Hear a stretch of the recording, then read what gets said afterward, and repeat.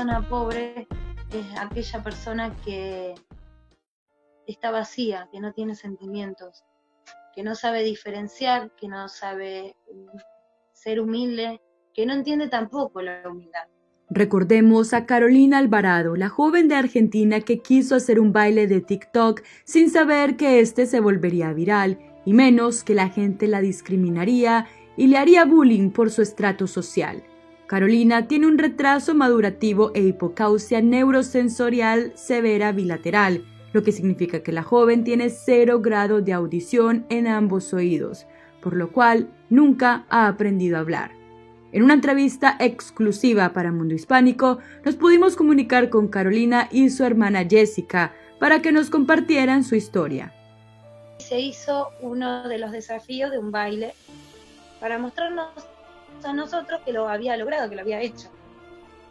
Eh, pero no tomó dimensión del asunto, no entiende eh, lo de lo viral ni esas cosas.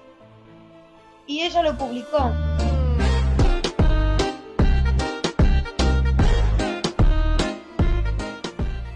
Cuando quisimos acordar, viene mi mamá, porque vivimos todos en el mismo terreno.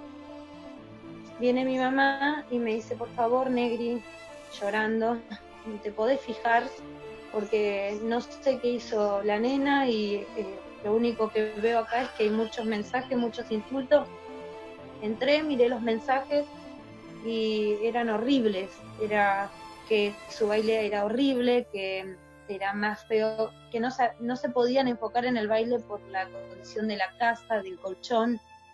Mi mamá y yo llorábamos porque nos dio impotencia, porque la nena no escucha y para nosotras que, que la conocemos lo había hecho hermoso. No, no vimos eh, eh, lo que vieron ellos porque nosotros somos humildes. Eh, lo vimos algo normal.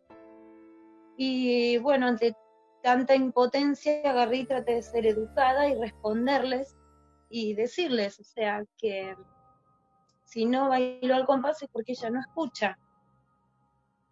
Que, y por lo tanto al no escuchar no se puede expresar y no se puede defender, pero que para esa parte estábamos nosotros que somos su familia. Eh, queremos lograr que Caro pueda ser implantada ya que nosotros no tenemos el dinero eh, ni la forma de, llegar a que ella pueda ser implantada, sino más que lo único que se cuenta es con la obra social que ella tiene. Y por lo tanto lo que buscamos es que el apoyo de la gente, que nos ayude para, ser escuchados y, y, que ella pueda tener sus implantes cocleares y así poder por fin eh, escuchar por primera vez, eh, poder aprender a hablar, eh, ser un poquito más independiente, poder terminar sus estudios, poder tener más opciones a la hora de elegir una carrera. La mamá de Caro, por problemas de salud, no puede trabajar. Viven de 1.200 pesos argentinos, lo que representa un total de 17 dólares mensuales, además de algo de ayuda que reciben por parte del padre del hermano menor de Caro, mas no el papá de Caro, ya que éste nunca se ha hecho responsable de ella. Como el dinero no es suficiente para alimentar a la familia, ellos se han tenido que apoyar en un mercado quincenal que ofrece una escuela. Y la necesidad de darles de comer y no tener y no saber explicarlo. Pero lógicamente nunca nos quedamos. Eh, mi mamá nunca se quedó, mi mamá siempre encontró la forma de que los chicos puedan comer algo y si no nada, nos ayudamos mutuamente.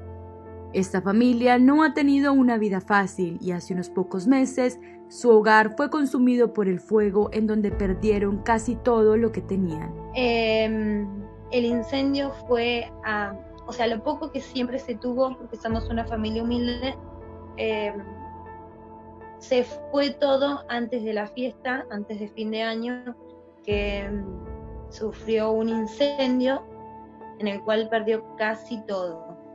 Si bien las piecitas no las consumió, eh, llegó el humo y el fuego y por eso es que quizás las paredes quedaron más dañadas de lo que ya estaban. Una vez empezaron los mensajes positivos de todas las personas, también vi que hubo mucha gente que ayudó, empezaron a enviar eh, mercados, ropa, cosas, no sé si creo que hasta un celular enviaron. Em, en ese momento que empezaron a ver esa ayuda tocándoles la puerta hasta su casa, ¿qué sintieron al, ver ese momento en que sus voces por fin fueron escuchadas? Es algo único, increíble, nos cuesta eh, todavía manejarnos. Eh, son muchos mensajes en todas las redes que recibimos muchos mensajes de apoyo y eh, un grupito de personas que se destacó y que hicieron eh, un grupo, el cual hoy lo encuentran como Somos la Voz de Caro, lo encuentran en Instagram y lo encuentran en, en TikTok y cuando quisimos acordar, todos esos mensajes se fueron desapareciendo porque increíblemente la gente empezó a comentar y a comentar y a comentar cosas tan bonitas que todo lo malo quedó atrás. Y después de la tormenta siempre llega la calma. Y de repente la empatía de la gente fue tan grande que muchas personas se sumaron al baile junto a Caro y le enviaron muchos mensajes de amor, apoyo y donaciones. Gracias, eternamente agradecidas con todos. Les mandamos un corazón. Gracias. Los quiero a todos. Y para todas las personas que quisieran ayudar a Caro con donaciones de mercado o para su cirugía, pueden comunicarse con su hermana a través del grupo de Somos la Voz de Caro en Instagram o en TikTok. Para Mundo Hispánico, Camila Daza.